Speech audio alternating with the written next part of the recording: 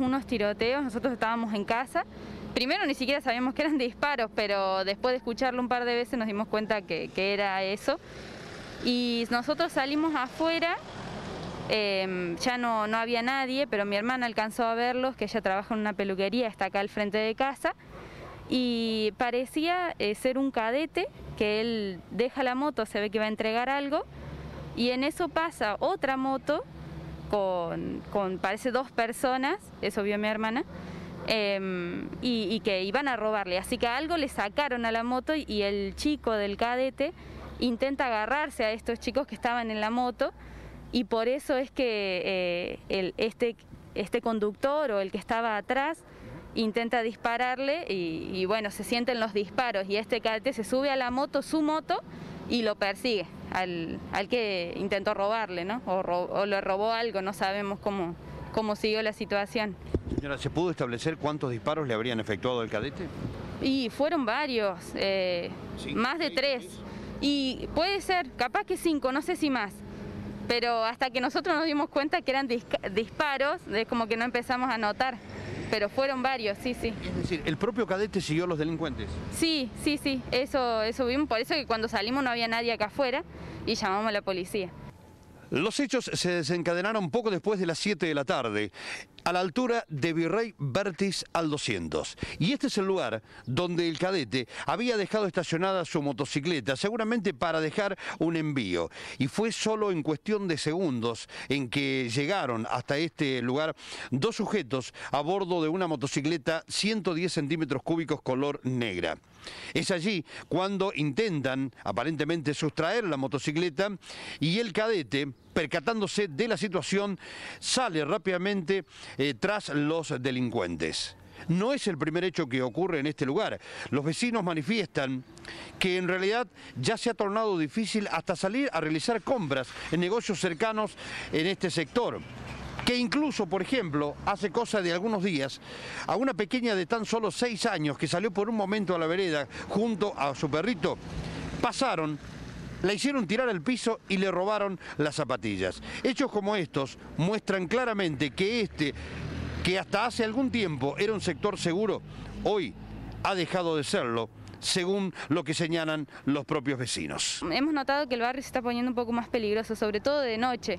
Mi hermana que tiene acá la peluquería afuera, eh, o sea, acá nomás, eh, hace dos semanas o una semana y algo robaron a, a un amigo que pasó por casa a dejar unas cosas, también dejó la moto afuera y, cerramos un ratito porque estaba muy frío, así que eh, cerró un ratito la puerta y cuando salimos justo se estaban llevando la moto. Así que eh, fueron cinco minutos y fue en la noche también, se está poniendo más complicado que antes. A unas cuadras más allá nosotros también tenemos una amiga eh, mayor que nos, nos comentó que ya van dos veces que le han querido robar en bici ella ha, pegado gritos o ha ido a, un vecino a avisarle, y, pero también le han pegado un, gran susto también, pero de noche sobre todo.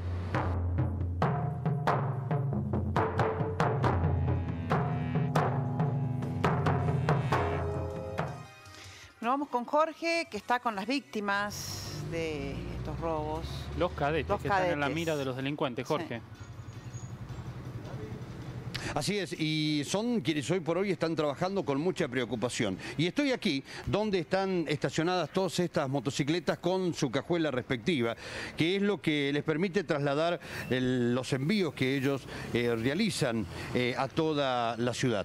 Pero estas motos son para los cadetes, sin duda alguna, la herramienta de trabajo fundamental, indispensable y es lo que lamentablemente hoy por hoy les están robando. Claro, eh, antes tal vez sufrían el robo del dinero que podían llevar consigo, pero hoy por hoy los ladrones ya no se conforman con eso. Entonces les sustraen el dinero, les sustraen la moto y les llevan por ende también lo que puedan tener eh, como envío. Una problemática que lamentablemente crece día a día en la ciudad de Río Cuarto, pero para que nos cuenten ellos mismos en primera persona qué está ocurriendo, vamos a charlar en primer término con Cristian Fernández Cristian, buenas tardes, gracias por atendernos.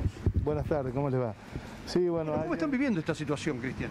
Ayer eh, ocurrió un hecho ahí en el sur, ¿no es cierto?, de un colega, un compañero nuestro, que fue abordado por dos delincuentes que le quisieron sustraer la moto y el chico se resistió, como los pasa todo, como les decía en una nota anterior, que los tratamos de resistir hasta cierto punto.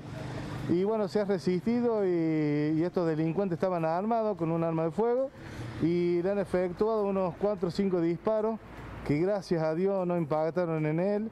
Eh, deben haber impactado en la moto, creo, y bueno, se salvó al chico de milagro. Cristian, ya sigo con usted, eh, vamos a charlar con otros cadetes. Eh, señor, en su caso, ¿cuántos años? Cadetería. Y ya un año llevo. Un año llevo en esto. ¿Le ha sufrido o ha sufrido en alguna oportunidad algún robo o han intentado robarle? No, casualmente hace dos días en el Andino a una señora quisieron robarle una moto y yo justo pasaba entre mm, Humberto Primo y French, en esa esquina.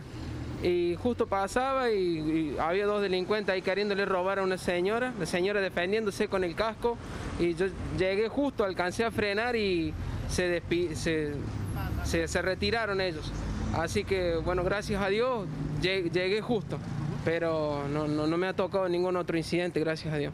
¿En su caso, ha tenido algún problema? Eh, no, yo por el momento no. Eh, lo que sí, el miedo, porque trabajamos hasta de noche, tras noche, y no sabes si vas a volver con la moto, con el Tengo una pregunta, tengo una pregunta. ¿Hay lugares peligrosos o más peligrosos que otros? ¿Hay horarios que tal vez resultan más complicados que otros? ¿O se ha tornado difícil cualquier hora, cualquier lugar? Y la verdad que hoy en día cualquier hora, porque no se sabe eh, si va y vuelve con el pedido o la moto la verdad que no se sabe de dónde te van a salir, ¿no?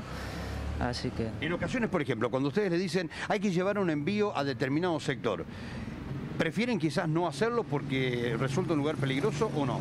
Eh, nosotros tratamos de hacerlo todo, eh, no, no tratamos de esquivar el pedido, pero por ahí en algunos lugares muy lejos, así dudas, en algunos barrios, ¿Es cierto que en algunos casos van de a dos o tres cadetes juntos para evitar que tal vez eh, puedan mm, ser víctimas de robo? Y sí, si podemos, vamos así acompañados.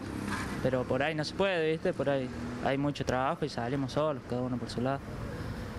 Cristian Fernández, ¿tenemos que hablar de hechos aislados o ya de algo que se está generalizando? No, bueno, es como yo les decía, los hechos se están, se están haciendo en varios lados. La modalidad es ir a un lado eh, y cometer el hecho y después ir a otro lado por el tema de lo mejor, si son conocidos, la, gente de la zona los conoce y los va a identificar. Entonces se ve que en el lugar de donde ellos habitan, donde viven, no lo hacen, y entonces lo hacen en varios lugares, distintos puntos de la ciudad. Así. Por último, ¿qué alternativa pueden adoptar ustedes para tal vez poder trabajar con algo más de seguridad? ¿Tienen alguna posibilidad de hacer algo para tal vez no terminar siendo víctima de este tipo de robos? Bueno, a través de CINCA, del sindicato, estamos trayendo tecnología, ¿no es cierto? Y estamos trayendo capacidad, capacitación. La capacitación eh, consiste bueno, en ver, eh, dejar la moto no con las llaves, eh, buscar la manera de, buscar la, la, posibilidad de que si se acerca a alguien, bueno, tener la condición de ver si es delincuente o no, tratando de ver la modalidad como viene. Bueno, esa es una capacitación que la estamos trayendo y está buena porque vos vas a poder, en el modo de actuar del delincuente, saber si te va a robar o te va a dar cuenta si es un delincuente. ¿no? Sí, Martín. Sí, no, eh, le agradecemos a, Cristian y, al resto de los trabajadores que han interrumpido su trabajo en esta hora del mediodía para estar con nosotros, pero eh, hay que decir que un cadete puede tomar todas las medidas, como todos los trabajadores tenemos que tomar medidas para sentirnos seguros nosotros mismos, pero es una obligación del Estado garantizar la seguridad de todos los ciudadanos. Hace algunas semanas nada más hablamos aquí en este noticiero con el ministro de Seguridad de la provincia de Córdoba, quien dijo no conocer las estadísticas de la seguridad de la provincia, si, habían, si había habido aumentos en los hechos delictivos o no. Dijo directamente, no tenemos estadísticas para decirlo. Bueno, aquí son testimonios puntuales. Una persona a la que le disparan cinco veces, personas a las que les roban las motos, les llevan hasta las zapatillas a una nena de seis años. La inseguridad está creciendo y eh, hasta ahora no hemos escuchado que ante estos hechos salga el ministro de Seguridad a hablar, el jefe de la policía, no sabemos el jefe de la policía qué tiene para decir sobre esto, si se está evaluando algún tipo de política en particular para evitar los robos. Al menos yo no he tenido conocimiento sobre eso. No sé si ustedes han escuchado al jefe de la policía hablar sobre esto o al ministro de Seguridad. ¿Qué hacemos para darle seguridad a los trabajadores? Claro, y también se andan las cámaras de seguridad, que a Mosquera le preguntamos, él nos dice que sí, pero ¿De qué manera? Si no, esta gente lo único que, va a tener que seguir haciendo es rezar, encomendarse a Dios. ¿Cómo, es esta situación? No, no, no. Eh, la, realidad es que cuando uno charla con la gente, eh, muchos dicen las cámaras no funcionan. Y esto surge, y esto surge, ¿por qué? Porque cuando alguien es víctima quizás de algún robo, lo primero que se busca es establecer si hay alguna cámara o domo cercano. ¿Por qué? Porque de alguna manera esto puede hacer pensar que están las imágenes y permite un rápido esclarecimiento del hecho.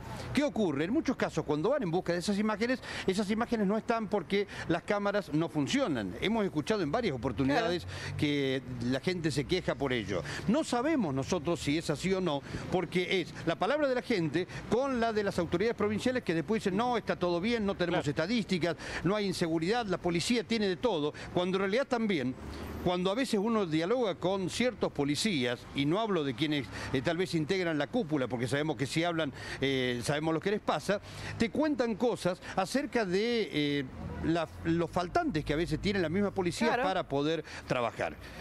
Y aquí estamos hablando de los cadetes y la preocupación que ellos tienen, pero sabemos que este tipo de hechos, de robos, de arrebatos, de golpes o de amenazas, indudablemente eh, también le ocurre al ciudadano común. Y claro, hay gente que ya ante la falta de respuesta reacciona. No es lo ideal, no es lo ideal, no es lo correcto, pero claro, eh, en el momento uno, ¿cómo hacer para no reaccionar quizás de esta forma cuando alguien te está llevando algo que te pertenece? Creemos realmente que es el Estado el que te tiene que poner las pilas y darle una respuesta eh, a este tipo de requerimientos. Y sí, porque un tipo, una reacción de ese tipo te puede costar la vida. No, y no podemos vivir en la ley de la selva tampoco, ¿no? Seguro, seguro. Bueno, Jorge, ¿volvemos con vos dentro de un rato? No, no, tampoco. Pero indudablemente que ante la falta de respuesta, ante la falta de respuesta la gente eh, tiene mucho temor. Y no estamos diciendo con esto que la gente tiene que armarse, no, por favor, que no se entienda esto. Lo que estamos diciendo es que el Estado se tiene que poner los pantalones largos de una vez por todas y decir, bueno, esta es una problemática que está creciendo o que por lo menos aqueja a determinados lugares porque no significa que todos los lugares sean inseguros y vamos entonces a ponernos a trabajar para saber qué se puede hacer con todo esto. Gracias Jorge, ya volvemos con vos.